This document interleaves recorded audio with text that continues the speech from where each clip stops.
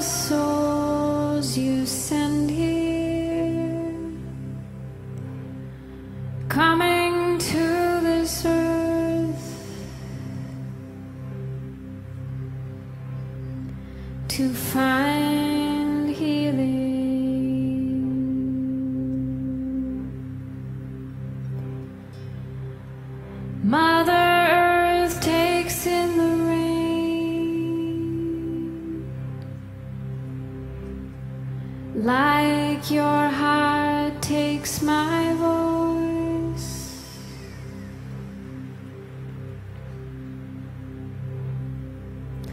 Let us free each other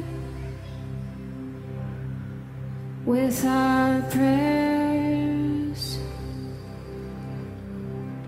with our voice.